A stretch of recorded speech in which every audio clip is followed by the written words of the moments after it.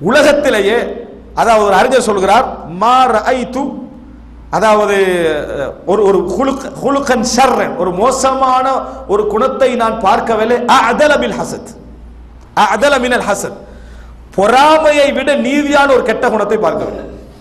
எப்படி? பொறாமையை விட நீதியான ஒரு கெட்ட குணத்தை பார்க்கவில்லை. இன்னொரு வார்த்தையில் அதாவது மாராய் துபாலிமன் அஷ்பஹ பி மதுலூமின் மினல் ஹசூத் அதாவது ஒரு எந்த ஒரு அநியாயக்காரனையும் நான் கண்டதில்லை அநியாயம் இழைக்கப்பட்டவன் போல கண்டதில்லை. எந்த ஒரு அநியாயக்காரனையும் அநியாயம் இழைக்கப்பட்டவனுடைய நிலையில் நான் கண்டதில்லை பொறாமைக்காரனை தவிர. என்ன காரணம் சொன்னால் நஃபசுன் தாயிம் ஹம்முன் லாசிம் வகல்புன் ஹாயிம் பொறாமைக்காரனை பொறுத்த வரைக்கும் முதலாவது சாகிறது அவன் தான் முதலாவது சாகிறது யாரு? பொறாமைப்பட்ட உடனே அவன் தான் முதலாவது சாக ஆரம்பிக்கிறான். எப்ப பார்த்தாலும் பெருமூச்சு. எப்ப பார்த்தாலும் பெருமூச்சு. எப்ப பார்த்தாலும் தொடர் கவலை.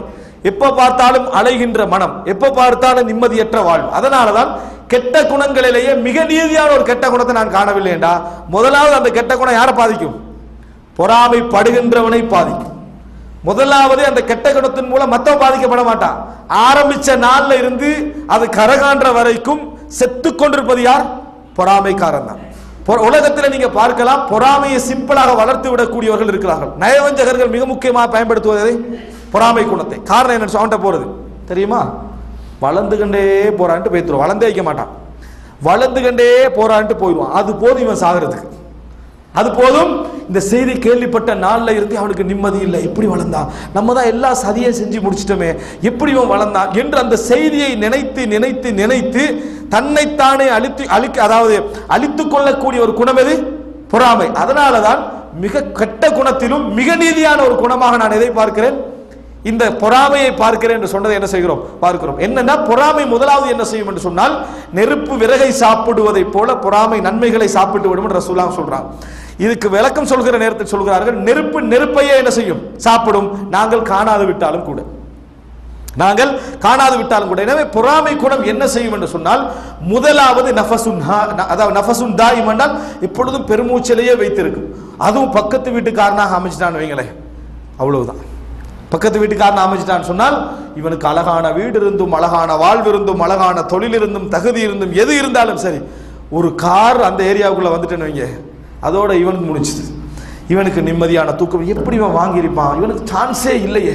வாங்குறதுக்கான வாய்ப்பே இல்லை. எப்படி வாங்கினான் அந்த சிந்தனையிலேயே என்ன செய்வான்?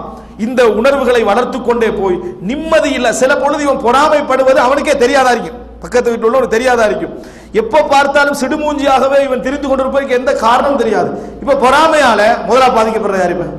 அவன் தான் முதலாவது பாதிக்கப்படுகின்றவன் இதன் இவன் தான் பாதிக்கப்படுறான். இதனால தான் சொல்வார்கள் பொறுமை இன்மையுடைய விளைவுதான் பொறாமை.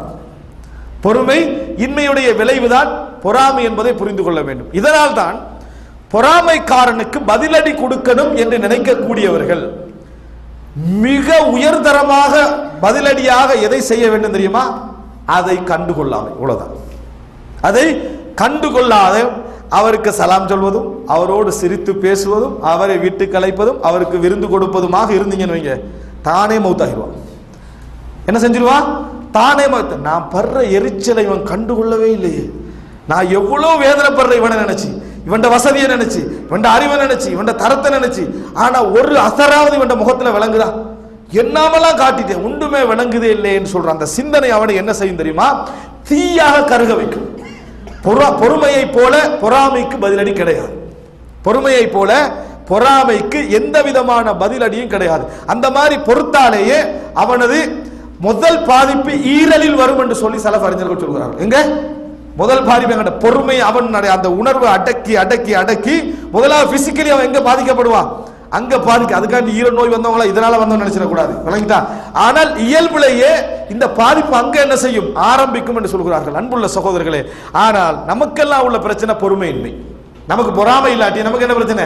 ஒத்த பொறாமப்பட்டான்னு விளங்கிட்டா அவனுக்கு விளங்கப்படுத்தாம நமக்கு இருக்கலாம் நம்ம எப்படி அது என்ன பொறாமப்படுத்த? எல்லாம் அப்படின்னு நம்ம அவனுடைய எரிச்சலை வளர்த்து நமக்கு விளங்கிட்ட இடத்தை காட்டிக்கொள்வதிலேயே நம்ம என்ன செய்விருப்போம்? ஆனால் உண்மையிலேயே அதாவது அவ்வளவு முனாஃபிக்குகளுக்கும் மத்தியிலும் இருந்த ரசூல்லாய் சலல்லா அலி வசல்லம் அவர்கள் இவ்வளவு பொறாமைப்படுகிறார்கள் என்று தெரிந்திருந்தும் கூட ஒரு இட உபைபுன் சலுலுக்கு தொடுவிக்கிற வரைக்கும் ரசூலா என்ன செஞ்சிட்டாங்க?